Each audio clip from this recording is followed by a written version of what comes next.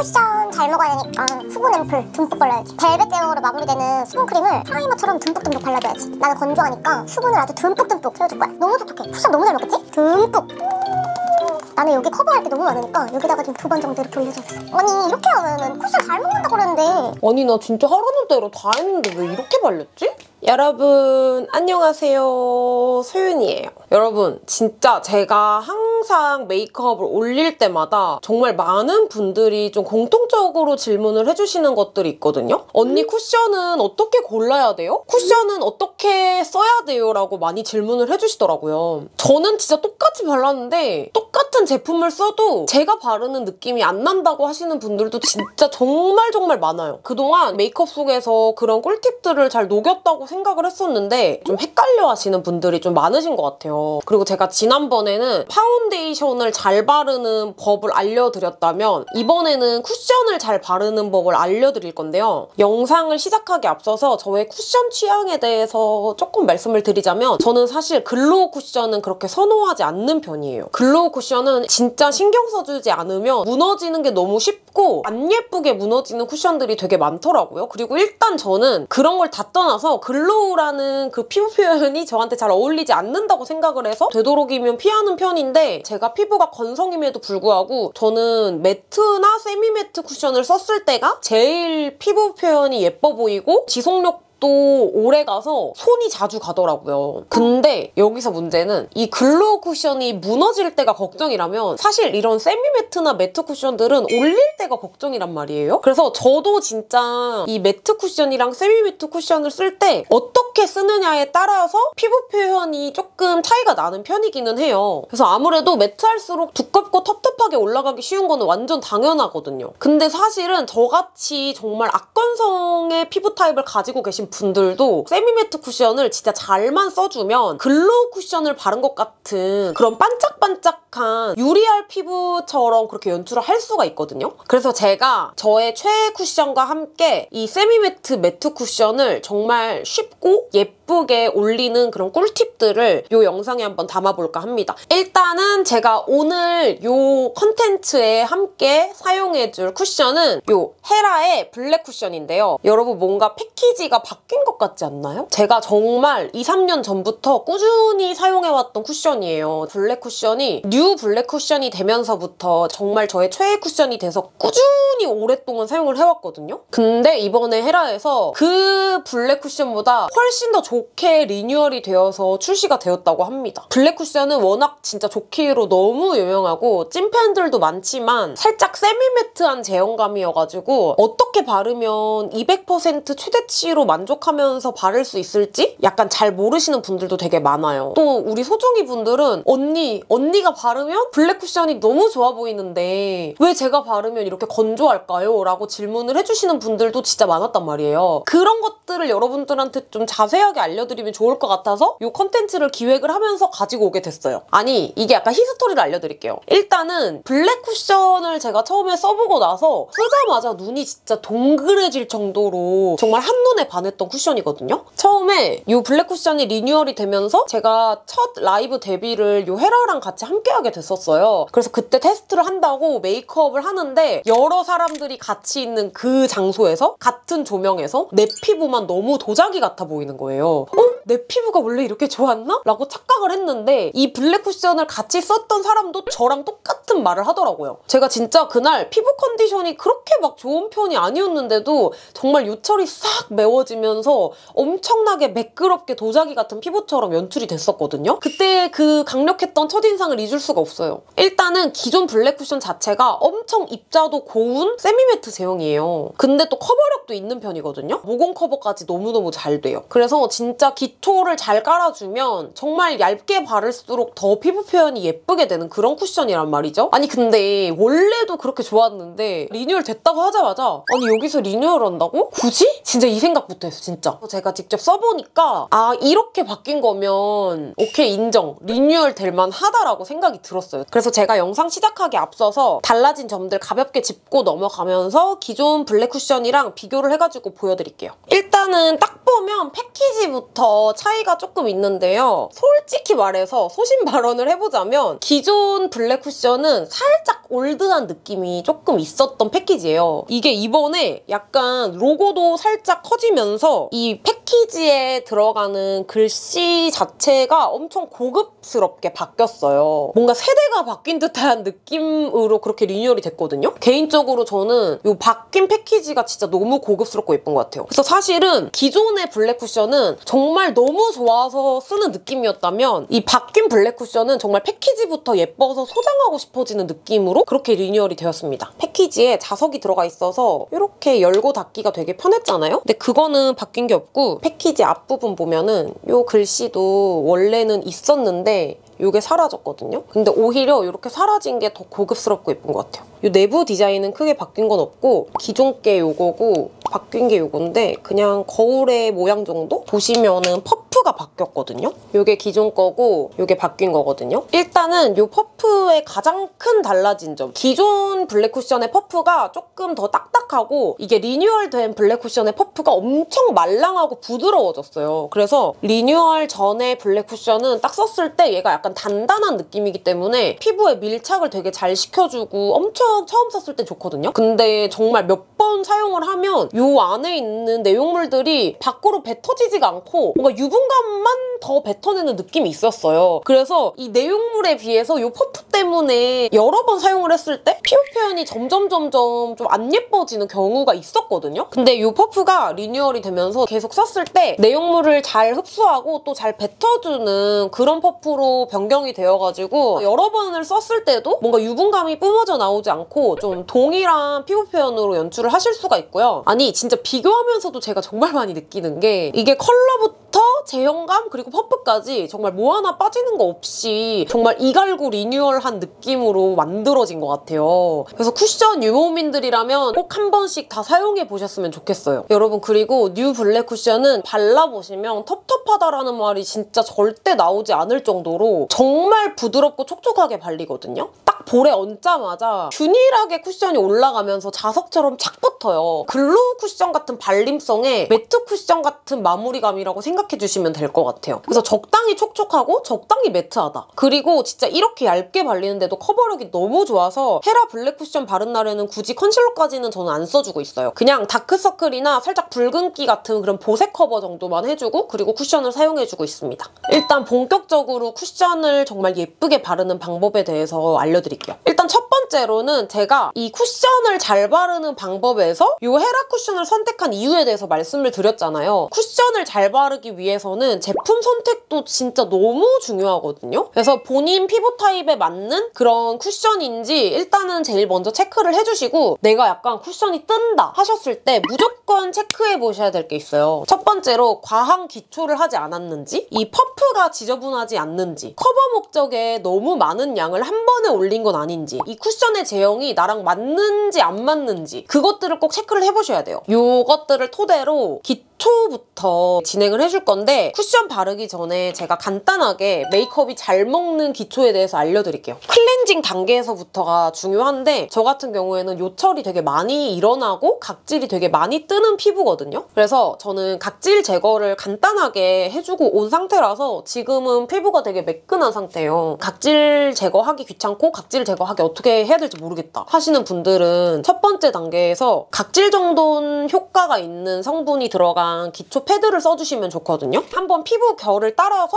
좀 이렇게 쓸어주시는 거예요. 왜냐면 우리 피부에는 솜털이 나 있고 피부 결이라는 게 있잖아요. 그래서 솜털이 약간 이렇게 다 서 있고 이 솜털들을 피부 결 대로 이렇게 눌러주지 않으면 아무리 좋은 제품을 쓴다고 해도 메이크업이 뜰 수밖에 없거든요. 약간 내 피부 결이 나 있는 이 방향대로 이렇게 눌러주시는 거예요. 보시면 이렇게 광이 나죠. 한번 닦아주면 각질 제거도 되면서 솜털이 이렇게 눌리면서 피부에 이런 매끈한 광이 나요. 이렇게 해주고 충분히 흡수를 시켜주는데 흡수를 시켜줄 때도 당연히 이렇게 피부 결을 따라서 살짝 눌러주면서 흡수를 시켜주는 게 중요해요. 내 피부가 많이 건 조하신 분들은 수분 제품을 써줘야 되잖아요. 근데 이 패드 단계에서라도 각질 제거가 되는 그런 패드를 써주시면 수분을 겹겹이 얹었을 때 내 피부에 부담이 되지 않거든요. 그래서 저는 수분 제품을 연속으로 써줬을 때 각질 제거 성분이 있는 패드를 같이 써주고 있어요. 흡수가 다 됐으면 이제 이 다음에 앰플을 사용을 해줄 건데 메이크업이 안 먹는다 하시는 분들은 무조건 입자가 고운 수분 제품을 선택을 해주시는 게 정말 중요한데요. 제가 써 봤던 수분 앰플들 중에서 이 두 가지가 가장 입자가 곱고 흡수가 정말 빠르거든요. 좀 더 흡수가 빨리 되는 이 라운드랩 자작나무 수분 앰플을 써줄게요. 피부 결을 따라서 이렇게 눌러주시는 거예요. 이 앰플 두 가지 다 히알루론산이 되게 촘촘하게 함유가 되어 있거든요. 그래서 메이크업 하기 전에 발라주기 너무 좋아요. 그리고 이제 크림. 크림은 제가 메이크업이 안 먹을 때마다 사용하는 이 웰라쥬 Real Hyaluronic Cream을 발라줄 건데 이렇게 손등에다가 펼쳐서 한번 내 손에 가볍게 이렇게 녹여주는 거예요. 그 다음에 이것도 이렇게 내 피부 결을 따라서 이렇게 눌러주면서 흡수를 시켜주면 정말 과한 느낌 없이 메이크업이 너무 잘 먹거든요. 이렇게 발라주면 정말 얇게 발리는데 피부 속으로 수분까지 흡수가 다 되면서 유지력도 정말 높아집니다. 제가 항상 메이크업 하기 전에 이 기초를 강조를 하는 이유는 피부 속부터 촘촘하게 이렇게 촉촉하게 채워놔주면 우리가 나중에 피부 무너짐도 정말 확실히 적어지거든요. 그래서 나는 피부가 너무 쉽게 무너진다 하시는 분들은 정말 이 기초 단계부터 꼼꼼하게 한번 체크를 해봐 주시면 좋을 것 같아요. 제가 항상 해주는 이 웨지 퍼프 피부 속에 이 기초들을 이렇게 밀어 넣어주면서 좀 지저분할 수 있는 수분들을 걷어내주는 거예요. 이렇게 해주면 이게 흡수가 되면서 밀착도 착 되거든요. 피부 메이크업이 훨씬 더 유지력이 높아져요. 폭감 올라오는 거 보이시죠? 이 상태에서 손등으로 이렇게 딱 찍었을 때 내 피부에 딸려오는 것들이 없어야 돼요. 그래서 지금 이 정도면 속이 진짜 촉촉하게 흡수가 다 된 것 같거든요. 저는 이제 메이크업 해주기 전에 이거를 한번 써줄 거예요. 매트 쿠션 바르기 전 치트키 같은 미스트인데 이거는 헤라의 Comfy Revitalizing Serum Mist거든요. 오일층이랑 이렇게 세럼이랑 같이 좀 층이 나뉘어져 있어요. 그래서 사용하기 직전에 이거를 이제 흔들어가지고 딱 뿌려주는 건데 제가 oily한 거를 절대 사용을 못 하거든요. 근데 이거는 진짜 매트 쿠션 같은 거 사용해주기 직전에 딱 뿌려주면 유분감 없이 피부 속 자체가 되게 탄탄해지는 느낌이 들어서 정말 궁합이 괜찮더라고요. 뭔가 오일막을 씌워주는 것처럼 탱탱해지는데 과한 유분기가 느껴지지 않아요. 이렇게 흔들어주고 뿌려주는 거예요. 그러면 이렇게 광이 나거든요. 약간 이런 오일 미스트를 뿌리면 번들거리는 그런 느낌이 있어야 되잖아요. 근데 얘는 딱 뿌리자마자 피부 속에 착 흡수가 되면서 내 피부를 코팅시켜주는 듯한 그런 느낌이 드는 미스트거든요. 그래서 진짜 나는 매트 쿠션 어떻게 발라도 못 바르겠다 하시는 분들은 이 미스트 진짜 꼭 한번 같이 사용해보세요. 유독 건조한 부위가 있다 하시는 분들은 이런 퍼프에다가 이렇게 뿌려가지고 그 부위에만 추가적으로 이렇게 미스트를 얹어주는 거예요. 저는 볼 쪽이 다른 부분에 비해 조금 더 건조하거든요. 그래서 이렇게 딱 발라주시면 피부 속에 이렇게 흡수가 돼요. 이 단계만 딱 추가를 해줘도 정말 피부 표현이 너무 예뻐요. 기초를 딱 해주셨으면 정말 저의 메이크업 잘 먹기 위한 치트키가 하나 있는데요. 물티슈나 아니면 마른 티슈를 준비를 해주시는 거예요. 저는 주로 물티슈를 사용을 해주는 편이기는 하거든요. 이 물티슈로 내 얼굴에서 잘 뭉치는 부분을 한번 닦아내주는 거예요. 보통 우리가 쿠션이나 파운데이션을 발랐을 때 제일 많이 끼는 부위 눈두덩이나 눈썹이나 아니면 관자놀이 그리고 눈 아이라인 부분이 정말 많이 끼잖아요. 근데 이런 부분들의 좀 기초를 한 번 싹 걷어내준 다음 파운데이션을 얹어주면 뭉침 없이 균일하게 예쁘게 발려요. 이게 별거 아닌 것 같아도 이렇게 한번 싹 닦아내주고 메이크업을 해주는 게 메이크업의 quality가 진짜 많이 올라갑니다. 이렇게 가볍게 닦아주고 이런 hairline 부분 있죠? 이런 부분도 그냥 힘을 빼고 싹 이렇게 걷어내주고 턱 라인도 이렇게 한번 싹 닦아내주면 shading을 할 때 뭉칠 일도 많이 없어요. 그리고 코 옆부분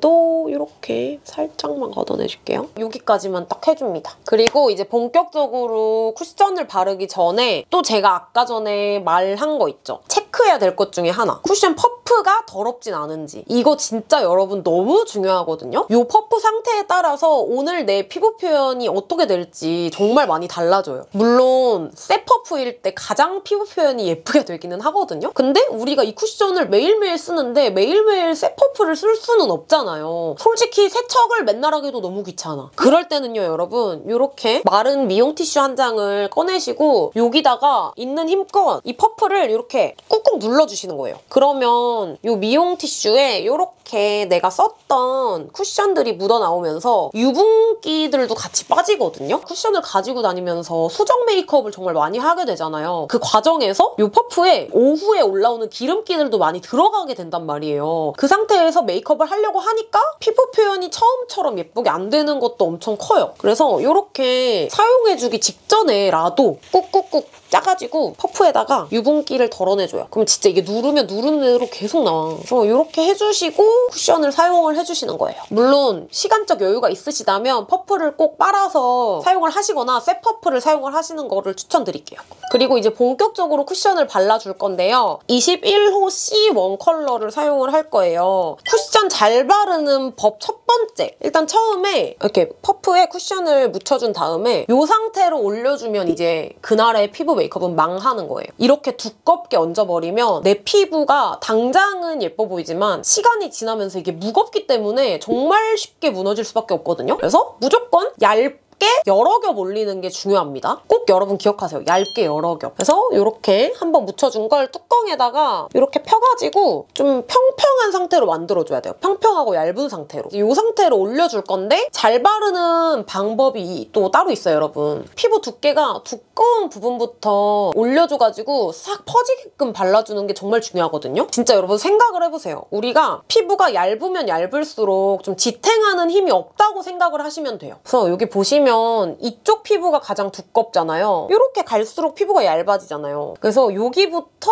안쪽으로 살짝 그라데이션 해주듯이 발라주시면 돼서 시작점을 이렇게 볼 부분, 볼 바깥 부분부터 이렇게 시작을 해주시면 됩니다. 발라주고 점점 점점 남은 양으로 안쪽까지 이렇게 발라주시는 거예요. 바르는 순서에 따라서도 내 피부 표현이 정말 다르게 되기 때문에 일단 첫 번째로 시작하는 부분을 딱 요 볼 부분으로 정해주셔야 돼요. 그리고 남은 양으로 여백을 가지고 한 부위씩 한 부위씩 차근차근 발라줄게요. 그리고 일단 얇게 여러 겹을 올려준다고 했잖아요. 그래서 이런 조금의 잡티 정도는 당장 가리지 않아도 돼요. 일단 밀착을 먼저 시켜주는 게 가장 중요해요.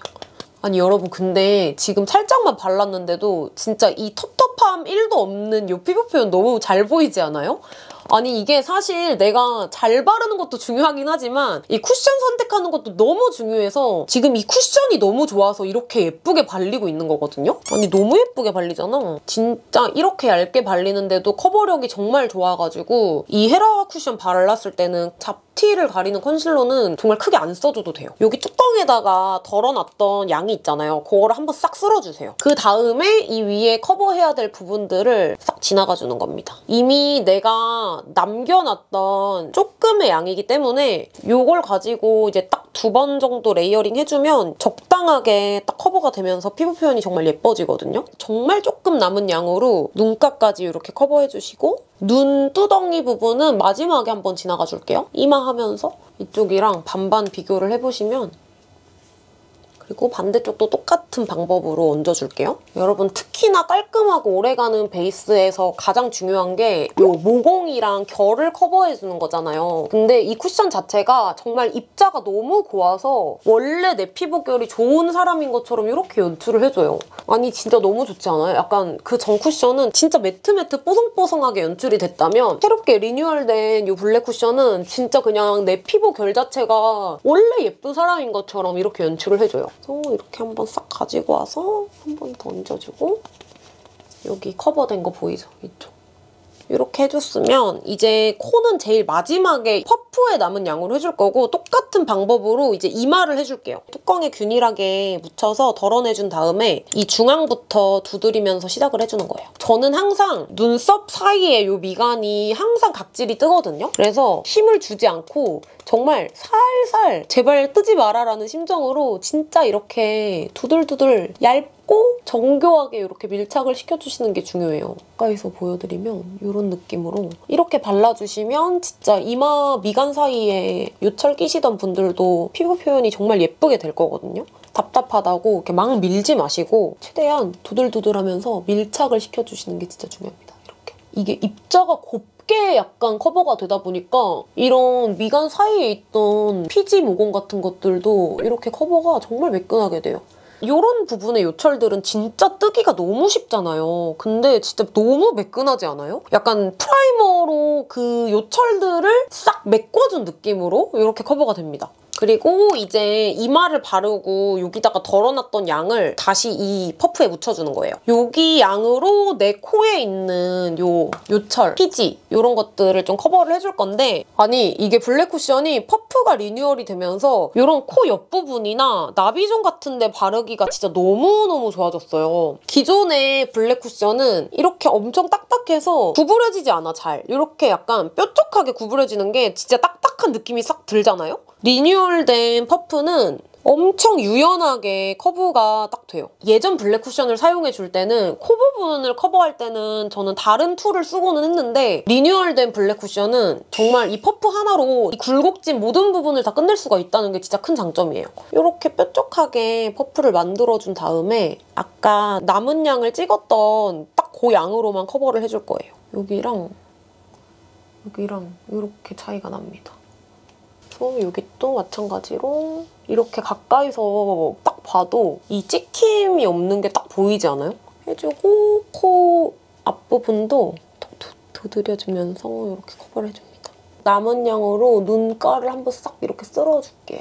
이렇게 발라주면 아주 예쁜 피부 표현이 이렇게 딱 연출이 됩니다. 제가 알려드린 방법대로만 하면 진 짜 유지력이 좋은 예쁜 피부 표현을 하실 수가 있거든요. 그리고 딱 이렇게 처음에만 예쁘면 안 되잖아요. 그래서 제가 이렇게 메이크업을 해주고 얼만큼 지속이 되고 시간이 지나면서의 그런 변화들을 영상에 이렇게 또 추가를 해놓을 건데 메이크업을 하고 외출을 하고 와서 또 그때 시간을 기준으로 영상을 한 번 더 켜볼게요. 여러분 지금 저는 이렇게 화장을 하고 왔고요. 아까 쿠션 바를 때는 한 7시 정도였는데 지금 화장 다 하고 지금 시간 기준으로 제가 지속력 테스트를 한번 해볼 거예요. 8시. 제가 지금 지인들이랑 약속이 있어서 이제 나가볼 건데 지금 이제 쿠션만 바르고 뭐 파우더나 이런 거는 일체 안 해준 상태고 그리고 픽서 같은 것도 전혀 안 뿌렸고요. 제가 진짜 맹세코 피부 화장을 지우거나 하지 않을 거예요. 지속력 테스트를 한번 해보도록 하겠습니다.